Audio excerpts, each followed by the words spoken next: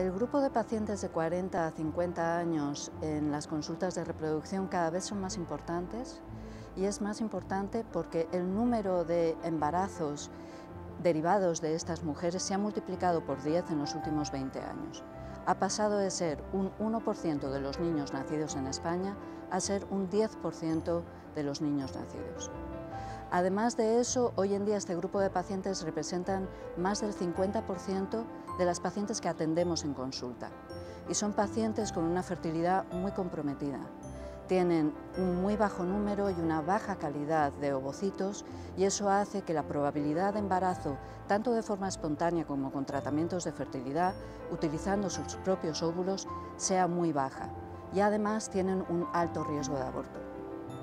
La mayoría de las pacientes de esta edad, cuando acuden a la consulta, piensan que aún es posible conseguir embarazo con sus propios óvulos y sin embargo se llevan la sorpresa de que en muchas ocasiones les tenemos que derivar a tratamientos de ovodonación, es decir, utilizar óvulos de donante para así de verdad poder conseguir tener una familia. Esto en muchas de las ocasiones es traumático, pero finalmente es una cuestión de hacer el duelo, se llama el duelo genético, es decir, reconocer que con sus propios óvulos la mayoría de las veces no va a ser posible conseguir embarazo y sin embargo, eh, una vez utilizando estos óvulos de donante, casi con seguridad lo conseguirán.